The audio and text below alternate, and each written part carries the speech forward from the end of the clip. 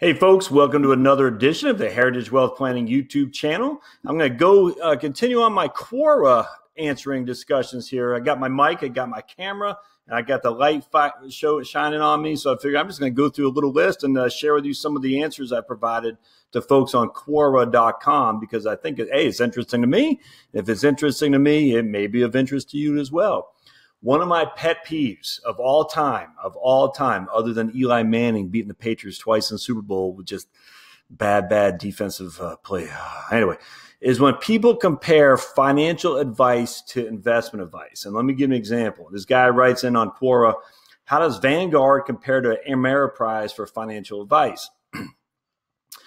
how does Vanguard compare to Ameriprise for financial advice? And you start looking now the the answer to the question and it, man, it's all about Vanguard's investments versus Ameriprise's investments. It's, it's all about that. And this guy talks about S&P 500. I just investment advice is not financial advice. Investment advice is investment advice. Financial advice, if all you're being advised on is investments, you are not receiving financial advice. And I actually said that one of my answers here, and you can see the answer uh, down here that I, that I wrote right here.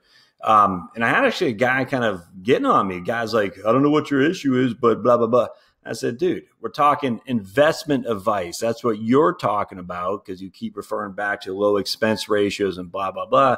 The question was about financial advice. Financial advice is all encompassing. It covers everything from taxes, retirement planning. It covers investments. It covers social security. It covers mortgages.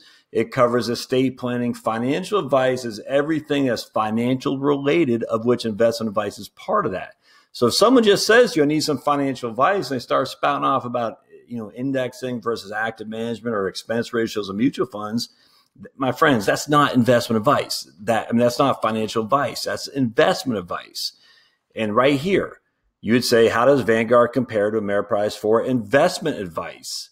If I'm talking, and, and the industry has done this to itself actually by allowing each and every person out there who has a Series 7 or even a CFP nowadays to hold themselves as financial advisors. Insurance guys are considered financial advisors. I mean, I about 10 years ago, I was talking to a mortgage lady and she called herself a financial planner, but did not know if she should do a refinance from on a fixed rate loan to a very, just the whole, I was like, this is crazy. You can't be financial planner if you don't know some of the basics of financial planning. Um, now, she might know mortgages, and that's fine, but just call yourself what you are a mortgage guy. If you're an investment guy, that's fine. If you're a financial planner, that's what I am, that's fine. Now, with that said, financial planners should not be calling themselves investment advisors unless they're doing that on a regular basis. Because I don't do that. I mean, I'll manage money, but it's going to be very passive, very cheap to run, not much trades. I certainly am not going to go in there thinking I can beat the market. And it's just not going to happen. Not when you factor fees in there. But the, if you look at low taxes, because I consider taxes a con- critical component of investments and your overall net worth and your cash flow, and they all flow under the concept of financial advice, which is what a financial planner specializes in. Now, if you're an investment guy and you know the markets back and forth, and you think you have some kind of strategy that can beat it, that's great. That's what a, a chartered financial CFA, chartered financial analyst, CFA, chartered financial analyst will discuss. And that person, that's what he should be discussing. What a financial planner should be discussing, she should be discussing social security planning, cash flow, tax planning, things that nature. Anyway, that's a pet peeve of mine. And then if you look at Vanguard and you go to their their financial planning services, well, if you pay 35 basis points or basically a third of 1%, you get active managed, or at least you get a portfolio that's been actively managed with index funds, what I mean by that is they act, you know, they actively rebalance it and things that nature. And financial planning guidance will come with that. And that's where the industry has really made a big mistake. We've thrown financial planning guidance as a free freebie for folks who invest with us for a certain fee. And, and it's not, that's not going anywhere. That's the way the industry has gone over the last 10 to 15 years. And it, I wish it would not have, but it, it is what it is. So a company like Vanguard or USAA or TIAA-CREF, they'll give you free financial advice for managed money. If they manage your money for a fee, they'll offer free financial advice.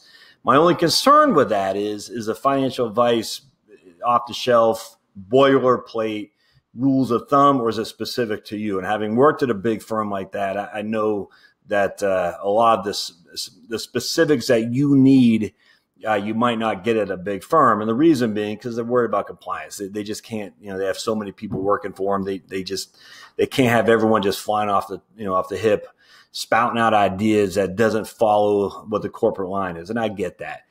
But when it comes to your retirement planning, is that the financial advice you need? Is some boilerplate rule of thumb, you know, stuff that they they have to kind of put you in a cage in this little uh, box and make sure you don't go out? And I don't think so.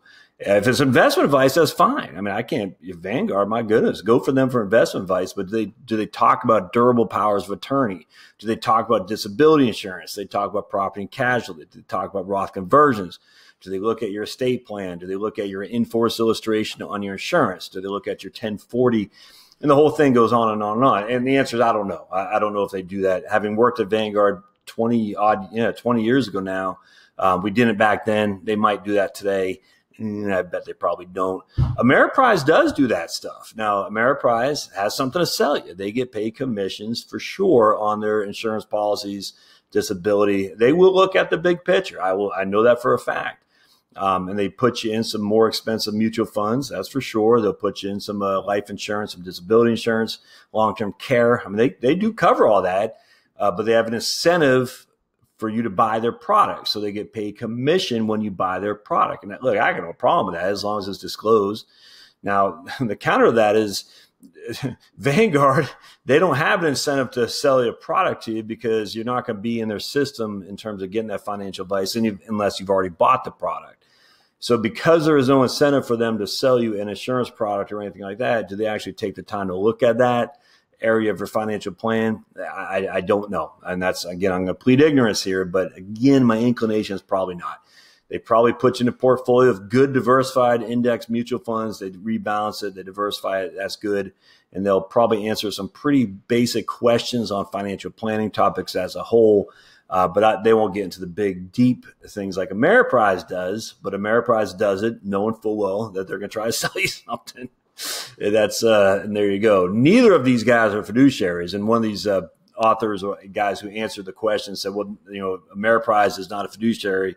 Well, Vanguard is not a fiduciary either, and so neither of these guys are fiduciaries for sure." Um, so because of that, the fiduciary rule is not applicable to either, uh, but it's not less applicable to Ameriprise than Vanguard. Just Ameriprise happens to get paid commissions and Vanguard does not. That does not make Ameriprise evil. It doesn't make Vanguard as clean, as pure as wind driven snow. It's just two different ways that these guys get paid.